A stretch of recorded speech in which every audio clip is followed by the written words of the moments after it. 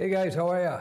So, a question I get put to me very often is what is the best way to learn code? You have three basic options go to college, do a boot camp, or solo learn on your own with video courses, books, or maybe online uh, text-based courses. There's many options out there. So in this video, I'm going to give you the pros and cons of each of them so you can decide what is best for you because everybody's different.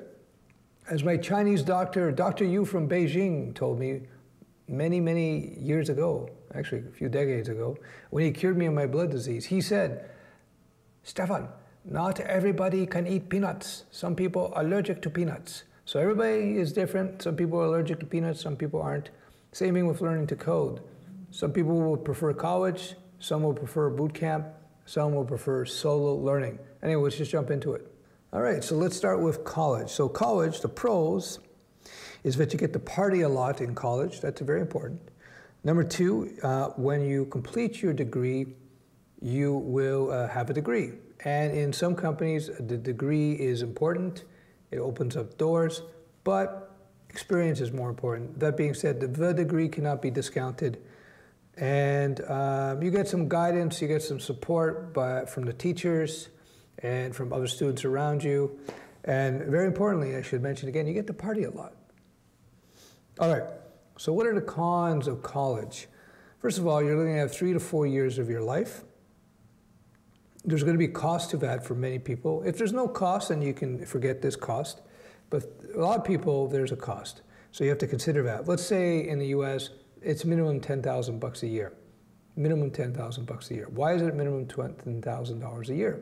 It's minimum $10,000 a year because you not only have to pay for the school, you got to pay for the books, but you also got to pay for room and board, right? These are years that you're spending and not earning. Keep that in mind. There's a further point coming out of this.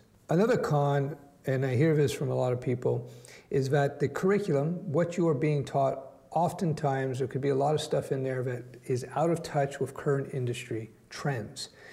Uh, they, I hear some stuff that I hear from people who post under my YouTube videos, say, yeah, my professor said this, that, and the other thing, and this guy, this professor, clearly, this particular professor anyway, clearly has not been in industry.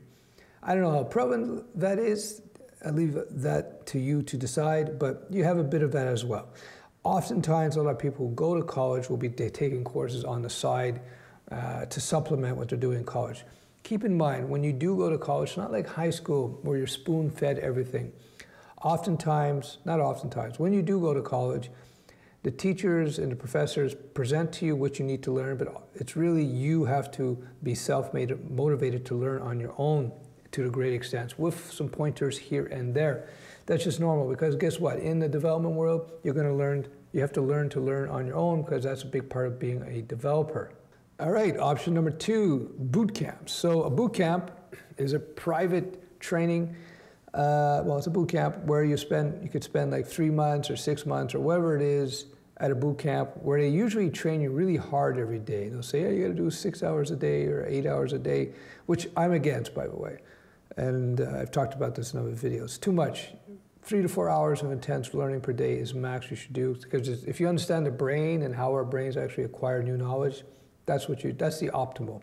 Beyond that, you're just wasting your time. Pros with boot camp is that it's fast. You don't have to spend three, four years like you do in college. You can typically get something done within six months or a little bit more. It's going to be less expensive in college because in college, if you're three, four years, 10,000 a year, 30, 40,000 a year is probably a minimum, at least in North America. Um, but you also have to count when you're spending three to four years in college, those are three, three to four years where you're not making money as a developer. You're not making money. We call this in business opportunity cost.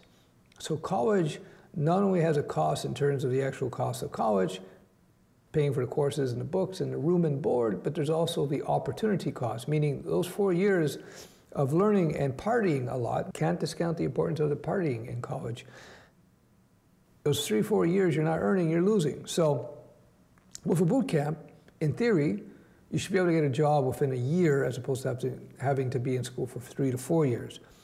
Now, even if you got an entry level job, let's do some mathematics here. So let's say you do an entry level job, you get an entry level job after a boot camp. So six months in, six months, boom. So the first, let's say entry level, you start off low level. You're an average person, fine. Start off 20 bucks the hour, it's 40,000 a year.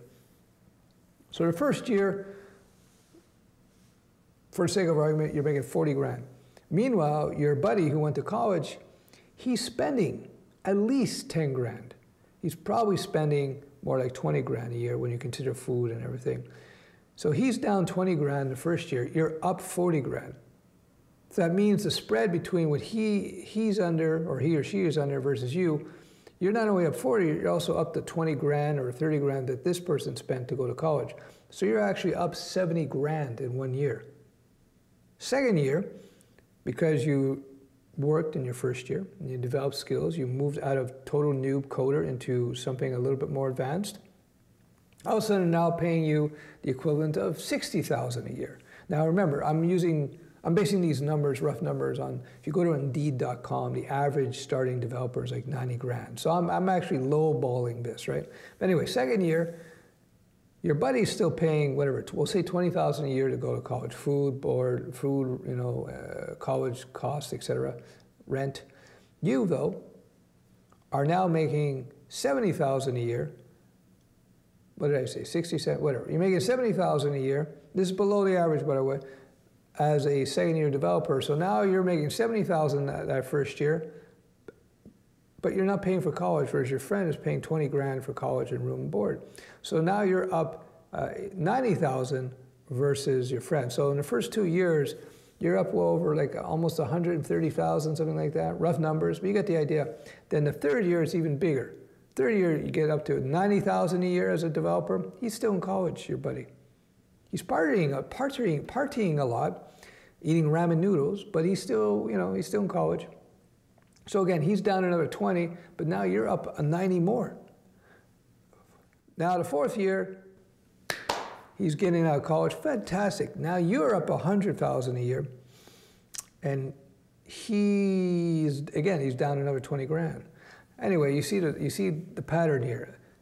You know, the more years he spends in college, the more money you're making, by the time your buddy gets the job,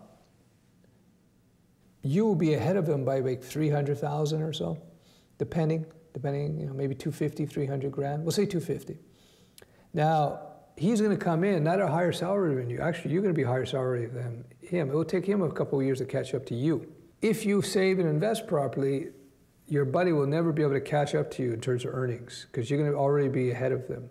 Unless you do something silly, go out and buy a Porsche 911 uh, in year three. But anyway, so there you go. Um, the boot camp will save you a lot of time. It will get you there pretty quick, and it will, uh, you can get a pretty good job depending on the type of training. So next, so what are the cons of the boot camp? Well, the cons are rigid schedule. Typically, they put you on a rigid schedule. Everybody's got to finish JavaScript by December 31st, and then you got to start Python. Or uh, they say you got to be here every day from uh, you know 9 a.m. to 5 p.m. What happens if you have a full-time job? What happens if you're a mother and you have kids to take care of? What you know, who knows? It's rigid. The schedule is rigid not only in terms of when you have to study certain subjects, but it's also rigid in terms of uh, your days. You may not be able to do the boot camp uh, situation. So depending on the boot camp. Now, in full disclosure, I have a mentoring program which circumvents all that. You work at your pace, you work when you want. I recommend no more than three hours a day, as little as 20 minutes a day. And whether you finish it in two months or six months, that's up to you. Doesn't matter. Another thing about the boot camps, and I've heard this often enough, so I don't know how prevalent it is, but there's a lot of questionability. There's a lot to question in terms of the quality of the teaching there. Most people who teach code don't know how to teach, I can tell you that. And number two, um, a lot of the teachers were recent graduates from the boot camp just uh, six months before. So that's any question about that. When you're looking for a good teacher, the teacher should have real world experience in the industry, hopefully many years, and they should have teaching ability. Hopefully they've worked in education or at least studied education and have some talent for teaching. Teaching, like so many other skills, is a talent.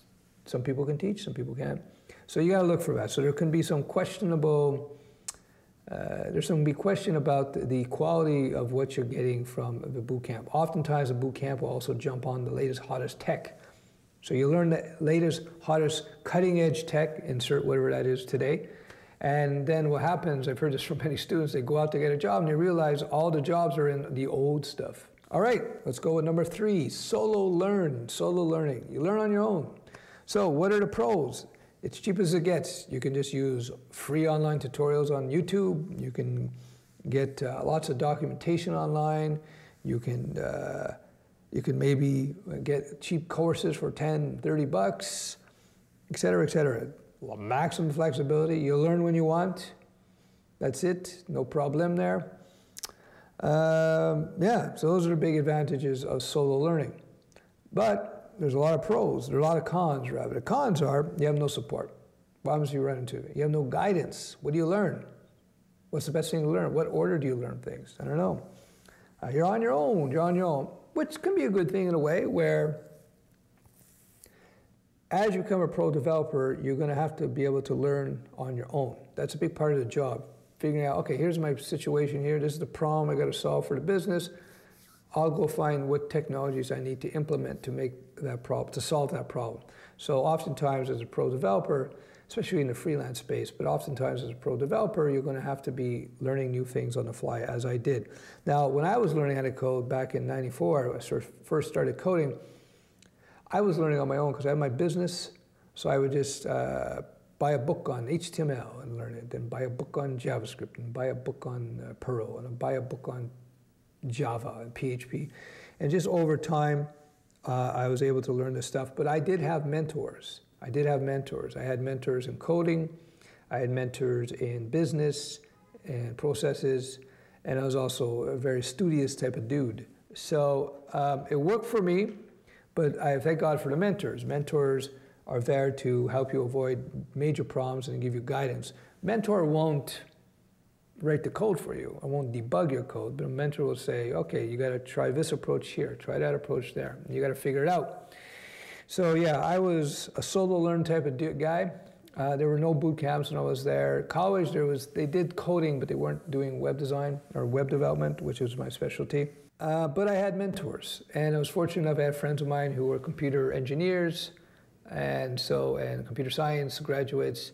So uh, I was able to bounce ideas off of them, and I just I was able to use a bunch of disparate resources to put together my training.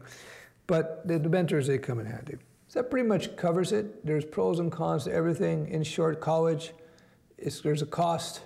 It's three to four years of your life. You have to count that opportunity cost, meaning those three to four years where you're not earning, where other people are earning. Uh, but on the upside, you do get that degree, which could open some doors, although less and less are the degrees becoming uh, relevant. Uh, Google put out a statement recently and said, don't go to college if you want to learn computer science. That's what Google said. That's their opinion. And Apple, Google, and other companies have done studies and they found there was no difference in the quality of the employee, whether or not they had a degree. So keep that in mind. There's a big question. People think, oh, you go to a degree, you get a higher salary. Yes, if you go into the STEMs, right? If you go into any of the uh, the sciences and the, the computers uh, stuff, and if you go into certain programs, yes, you make more money. But you have to ask yourself, are the people making more money because they went to college, or are the people who go to college are just the people who make more money because they happen to work harder and more consistent? That's the question that has to be answered. I got a feeling it's a bit more of the latter, but who knows? Okay, boot camps, pros, fast, you can get some help. Uh, it's not cheap necessarily. You're going to spend five, ten, twenty thousand, but instead of spending three to four years, you get it done in like six months, ten months. Shameless self promotion. My boot camp, check it out. There might be a deal now. Check it out. Um, you get all the benefits of a boot camp, all the benefits of solo learning. Uh, you get the both. You get the support and everything, and it's much less expensive. Uh, but the the, uh, the cons of the the cons of the boot camp, of course, the rigid schedule. You gotta, you gotta, you gotta be careful. You gotta find a good boot camp from the bad ones out there. Uh, solo learn, of course, the least expensive, cheapest you get, maximum flexibility, no hard schedule to follow like you do with most boot camps. Uh, the cons are you're on your own unless you can find independent uh, developers that want to help you out. All right, hope this helps. Uh, if you're thinking about learning how to code, I encourage you don't give up no matter which way you go because once you get those skills, once you understand it, it can't be taken away, and then you have a super valuable skill set that will stay with you for life. All right, again, uh, shameless self promo. Check out I have solo learning courses. I have a bootcamp mentoring program below, uh, and uh, people love it. So you might too. Bye bye.